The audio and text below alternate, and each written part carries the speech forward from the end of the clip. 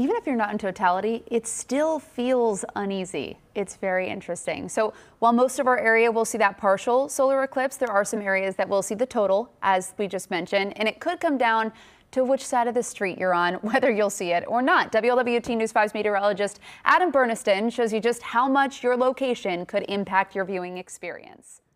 Hi, yeah, the eclipse will be here before you know it, and miles can make all the difference when it comes to where is in totality and where it's just a partial eclipse. There's that outer band across our region into the northwest, you'll see totality. So in downtown Hamilton, Butler County, you're about one minute and 43 seconds of totality when the moon is blocking the sun. But just 10 miles to the southeast down Route 4 there, near 275, exit 4, there's a lot of events here there's no totality at all. It's just that partial eclipse. It's about 99%, so still impressive, but just a few miles up the road near Jungle Jim's, you're talking about 40 seconds. So it's all coming down to those few miles to make all the difference between needing the glasses the entire time and at least being able to take them off for a short time. But be safe out there as we approach April 8th. We'll have all the details and following throughout these next few weeks as we approach the big day. Back to you.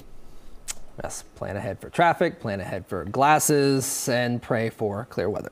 Hoping so. Hoping so. need April's not a great month for 50-50 at best, Randy? Yeah. It's coin flip. All right, we'll not see. the pessimism, Stephen. I, I said 50-50. There's a positive side there. Our eclipse coverage continues throughout the day. You can scan the QR code coming up on your screen for the full eclipse guide. That will include that totality map so you can plan your experience, as well as a list of schools that have so far called off for the historic event. Plus, we'll have more stories airing throughout the day here on WLWT News 5. 640.